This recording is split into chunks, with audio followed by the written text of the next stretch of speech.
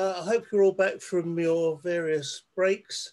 Uh, our next speaker is Anna Notaro um, from the University of Dundee, state of the art AI through the artificial, in commerce, artiSci. Over to you, Anna. Hi, uh, let me just uh, put this full screen. Okay, I hope you can you can see the slides. All right.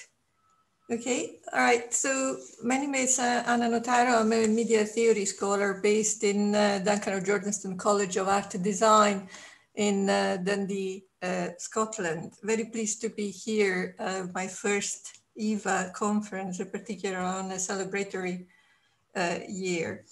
So the story, the story as far as this presentation is concerned really starts a few years back in uh, 2009 when uh, I wrote a paper in which I argued that contemporary interest in the human-like artificial actor uh, should have been considered in the context of humanity's fascination with the idea of artificial life created from inanimate materials.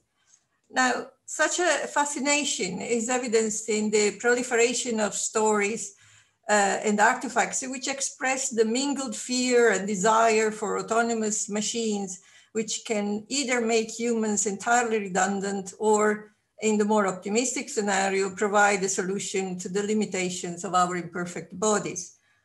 As it will be, become clear later on, there is an interesting parallelism between the early 20th century's idea of dispensing with the services of human actors, see, for example, Craig's marionette theater, Artaud's puppets, Meyerhold biomechanical actors, uh, or Schlemmer's uh, puppets.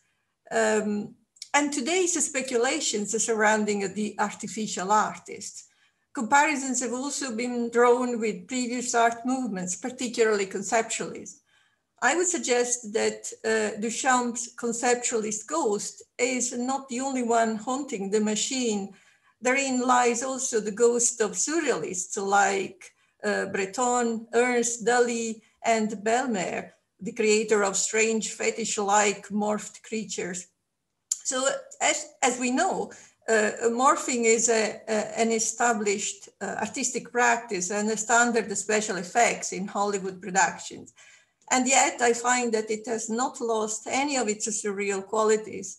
The dream of the body assembled from different parts uh, in the human-like figures uh, generated in endless loops by today's algorithmic art. But what exactly generated by the algorithm mean? Is there a consensus about what generative art, G-art, is? Does it differ from A-art? Galanter offers some answers when he states that uh, quote, what is definitive about generative art isn't what it is, but rather how it is made. I would qualify the above as a, a pragmatic uh, working definition, for it avoids dwelling on the philosophical questions of ontology. What is the essence of art and creativity in connection to or with technology, while focusing on process instead. This does not mean, of course, that such philosophical questions are not worth asking, as I do in my, uh, in my article. There is no room here to clarify the subtle distinction among the names computer art, net art, electronic art, computer assisted art, and the list could be longer. I refer the, to the Boden's useful disquisition. What I propose instead is the new umbrella term of Gaia art, to include current art produced by using AI systems while simultaneously recognizing the influential legacy of past generative art.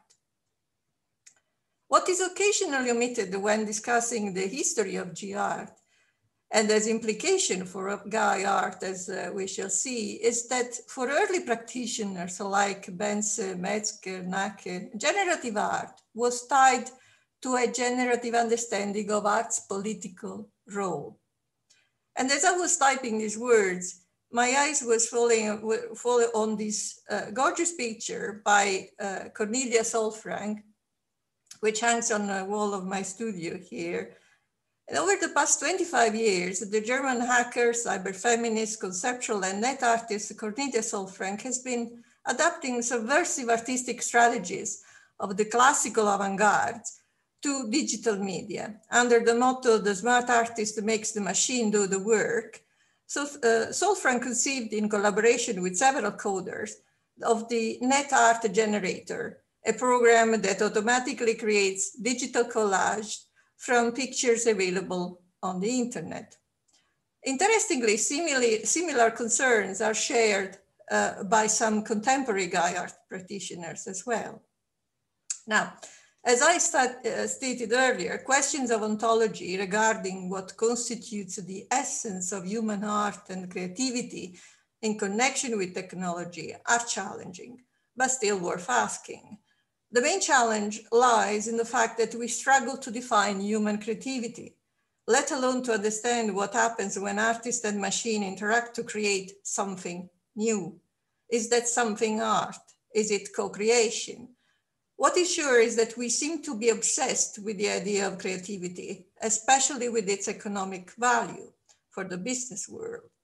This is because the traditional romantic idea of creativity as a state of being rather than doing has been replaced by a new type of creativity whose main merit lies in making a product that can be measured, tested, and ranked I would argue that Guy art has revived interest in such questions by stimulating the intellectual energy from critics, academics, and artists by injecting a sense of urgency given the speedy pace of technological innovation in the AI sector. I don't have time here to revisit, as I do in my article, some previous contributions to these ontological questions regarding creativity, but suffice to say that what emerges is a notion of augmented creativity, one which further enhances that of human creativity, as defined by Boden, for example, 10 years ago. Augmentation alone might not uh, settle all the philosophical issues but perhaps it represents an adequate characterization of the current state of the art. Now, in 2014, computer scientist uh, Ian Goodfellow, as we know, released this influential paper outlining the concept of generative uh, adversarial networks, GANs. Now, GANs came to the attention of the general public in October 2018 when despite an estimated sale uh, price of between $7,000 and $10,000, a portrait entitled Edmond de Bellamy from La Famille de Bellamy sold at Christie's in New York for over $400,000. The name Bellamy was a reference to the creator's name of GANs, Ian Goodfellow, that roughly translated to Bellamy in French. Authors so-called of the portrait were Obvious, a Paris-based collective of artists, machine learning researchers, and friends interested in AI for art. The sale raised a few eyebrows amongst art critics and AI artists alike. First of all, the quality of the image was poor, rather local resolution. Secondly, it had been produced by an algorithm the artist did not write. And lastly, it was packaged in a gilt frame with a segment of the algorithm code as a, uh, for a signature. Also, the publicity material uh, circulated prior to the sale uh, quoted the artist's motto, creativity isn't just for humans. And it was precisely this motto which uh, stirred up the media hype surrounding the AI portrait and demonstrated obvious willingness to embrace a particular narrative about AI, uh, about AI art, one in which they credit the algorithm for creating their work. Now, misleading statements and attention-seeking attitudes are nothing new in the art world.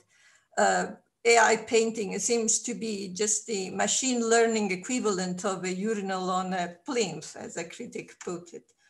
The problem with the Bellamy is that the portrait is not emotionally charged or inspiring.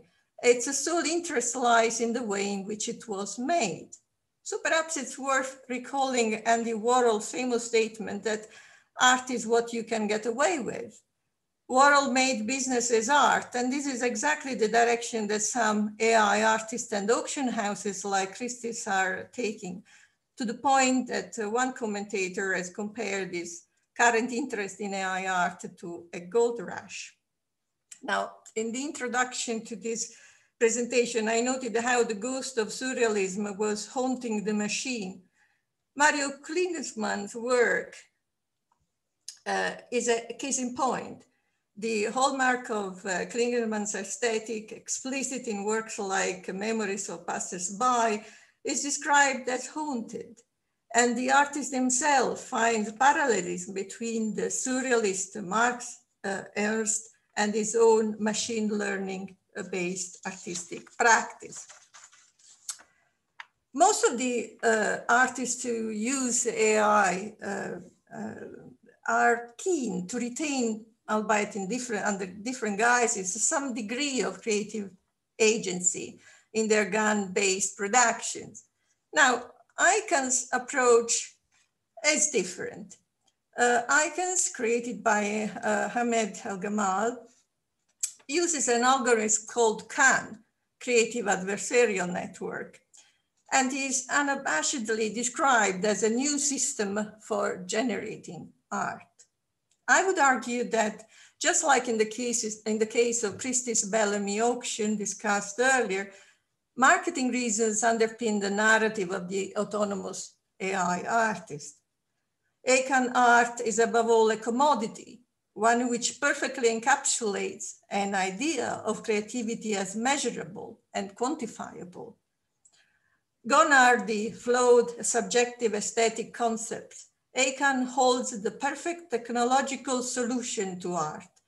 Only how ironic if human flows were to be replaced by culturally biased algorithm trained on 80,000 images taken exclusively from the Western art canon.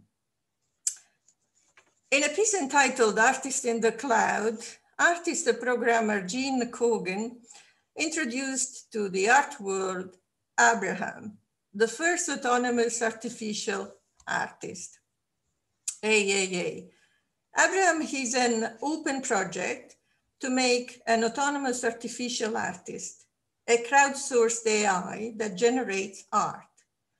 Adopting a somewhat messianic tone, Abraham was a prophet after all, and Kogan his contemporary incarnation, the AAA is described as, quote, a sovereign creative spirit who generates original art. What Kogan has in mind is a generative art program emerging from the collective intelligence, one where the profits for works produced and sold on the market are shared via digital currency among the people who built and feed it.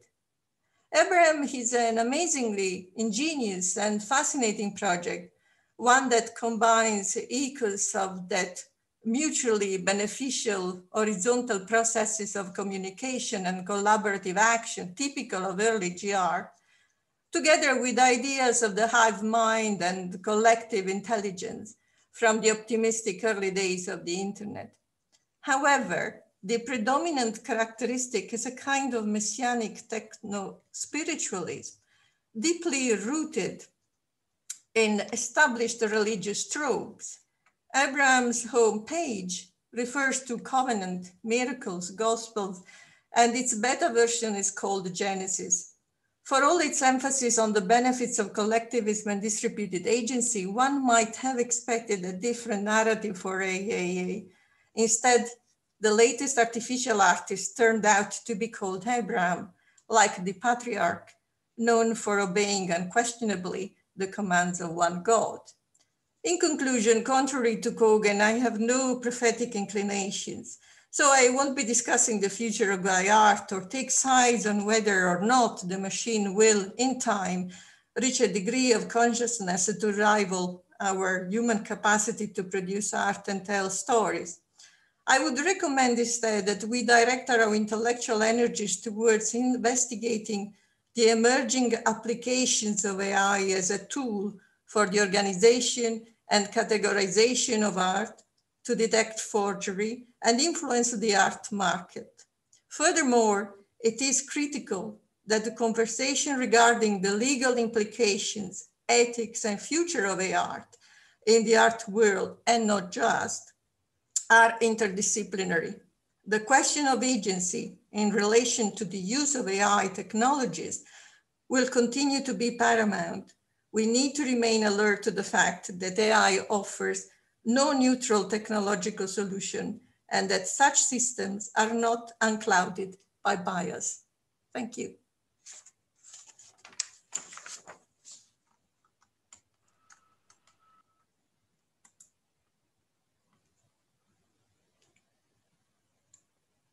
You're on mute, Graham. It's on mute, Graham. It off.